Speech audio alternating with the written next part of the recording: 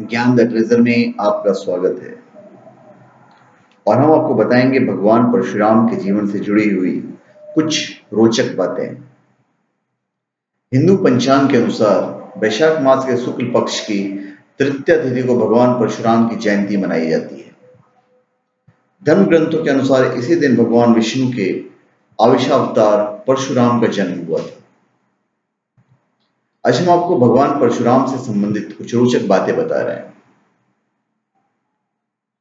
उनके जो शिष्य थे, वो थे भीष्म महाभारत के अनुसार महाराजा शांतनु के पुत्र भीष्म ने भगवान परशुराम से ही अस्त्र शस्त्र की विद्या प्राप्त की थी। एक बार भीष्म काशी में हो रहे स्वयंवर से काशीराज की पुत्रियों अंबा अंबिका और बालिका को अपने छोटे भाई विचित्रवीर को उठा लाए थे। तब अम्मा ने भीष्म को बताया कि वो किसी और को अपना पति मान चुकी है। तब भीष्म ने उसे ससम्मान छोड़ दिया, लेकिन हरण कर लिए जाने पर उसने अंबा को अस्वीकार कर दिया। तब अंबा भीष्म के गुरु द्रोणाचार्य के पास पहुँची और अपनी उन्होंने व्यथा सुनाई।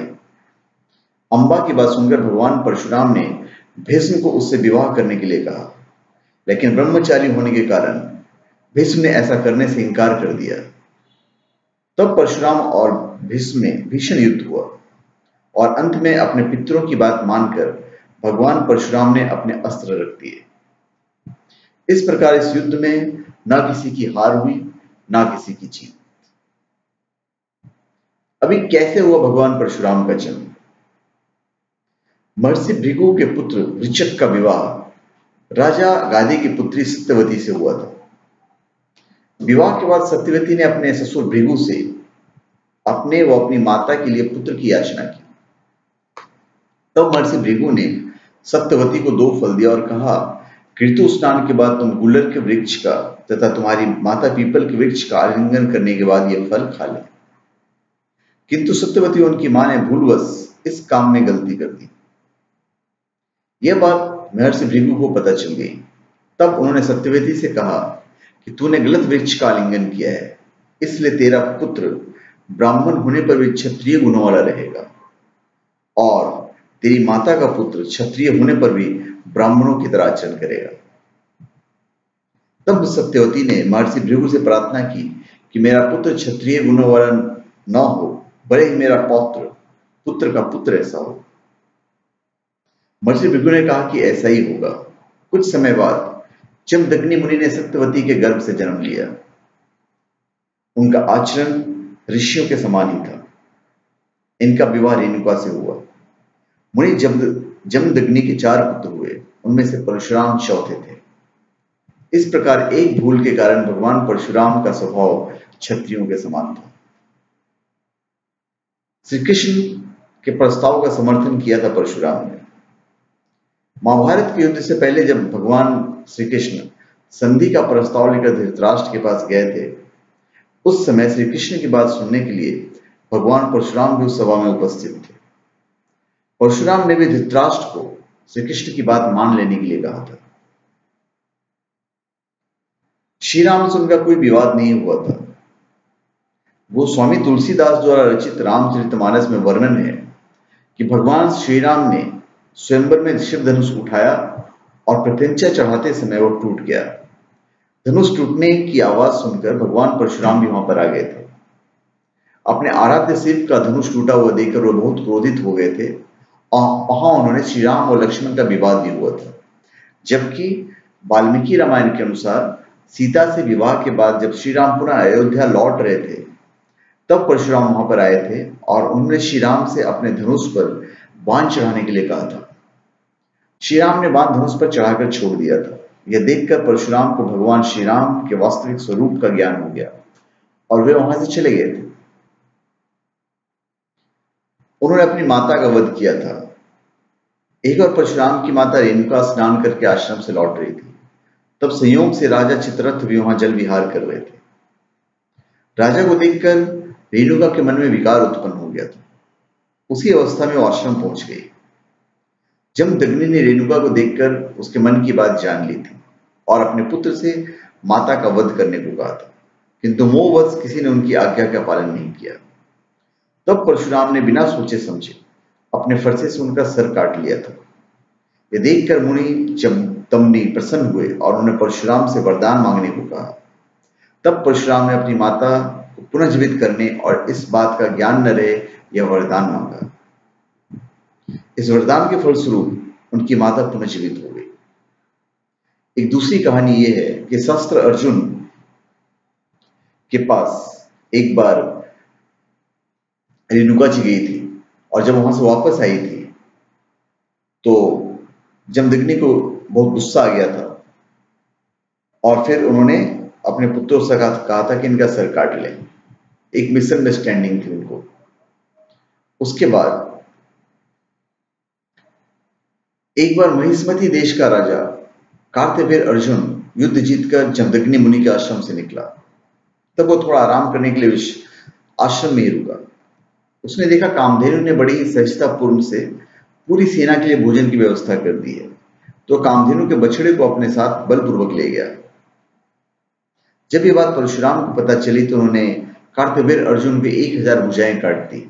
और उसका वध कर दिया था। मतलब शस्त्र अर्जुन का वध जो था, वो परशुराम जी ने की थी रीजन तो और वो कहानी पूरी बहुत लंबी चौड़ी है। मैंने आपको शॉर्ट में बता दिया। कार्तिवीर अर्जुन का वध का बदला उसके पुत्रों ने चमदग्नि मुक्ति का वध करके लिया। क्षत्रियों के नीच कर्म देखकर भगवान परशुराम बहुत क्रोधित हुए और उन्होंने कार्तिवीर अर्जुन के सभी पुत्रों का वध कर दिया। जिन जिन क्षत्रिय राजाओं ने उनका साथ दिया था परशुराम ने उनका भी वध कर दिया। इस प्रकार भगवान परशुराम 21 बार धरती को क्षत्रिय विहीन कर दिए।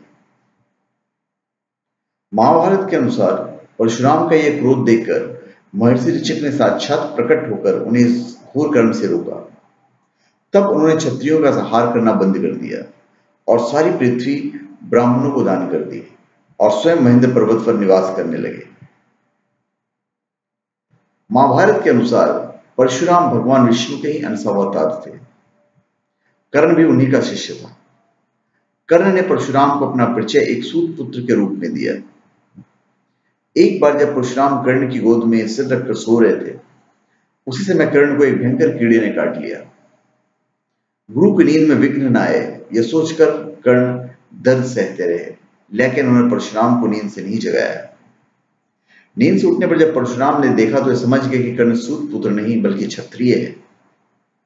तब क्रोधित होकर परशुराम ने कर्ण को श्राप दिया कि मेरी सिखाई हुई शस्त्र विद्या की जब तुम्हें सबसे अधिक आवश्यकता होगी, उस समय तुम वह विद्या भूल जाओगे। इस प्रकार परशुराम जी के श्राप के कारण ही कर्ण कर्ण की मृत्यु हुई। अभी राम से परशुराम कैसे बन गए? बाल अवस्था में परशुराम के माता पिता इन्हें राम कहकर पुकारते थे। जब राम कुछ बड़े हुए तो उन्हें पिता से वेदों का ज्ञान प्राप्त किया। और पिता के सामने धनुर्विद्या सीखने की इच्छा प्रकट की। महर्षि चमदग्नि ने उन्हें हिमालय पर जाकर भगवान शिव को प्रसन्न करने के लिए कहा। पिता की आज्ञा मानकर राम ने ऐसा किया। इस बीच असुरों से त्रस्त देवता शिव जी के पास पहुँचे और असुरों से मुक्ति दिलाने का निवेदन किया। तब शिव जी ने तपस्या कर रहे राम को असुरों का नाश करने के लिए कहा। राम ने बिना किसी अस्त्र की सहायता से ही असुरों का नाश कर दिया। राम के इस पराक्रम को देखकर भगवान शिव ने अनेक अस्त्र शस्त्र प्रदान किए। इन्हीं में से एक परशु भी था। यह अस्त्र राम को बहुत प्रिय था। इसे प्राप्त करते ही राम का नाम परशुराम हो गया। ब्रह्म वैवर्त पुराण के अनुसार, एक बार परशुराम जब भगवान शिव के दर्शन करने कैलाश पहुँचे तो भगवान ध्यान में थे। तब श्री गणेश ने परशुराम जी को भगवान शिव से मिलने नहीं दिया। इस बात से क्रोधित होकर परशुराम जी ने फरसे से श्री गणेश पर वार कर दिया। वो फरसा स्वयं भगवान शिव ने परशुराम को दिया था। श्री गणेश उस फरसे का वार खाली नहीं होने देना चाहते थे। इसलिए उन्होंने उस फरसे का वार अपने दांत पर छेल लिया, जिसके कारण उनका एक दांत टूट गया। तभी से उन्हें एक दंत कहा जाता है। परशुराम के जो भाई थे, उनके नाम मैं आपको बताता हूँ। ऋषि, जमदग्नि और इनका के चार पुत्र थे, जिनमें से परशुराम सबसे छोटे थे। भगवान परशुराम के तीन बड़े भाई थे, जिनका नाम था रुकमवान सुशेन वसु और विश्वावसु था।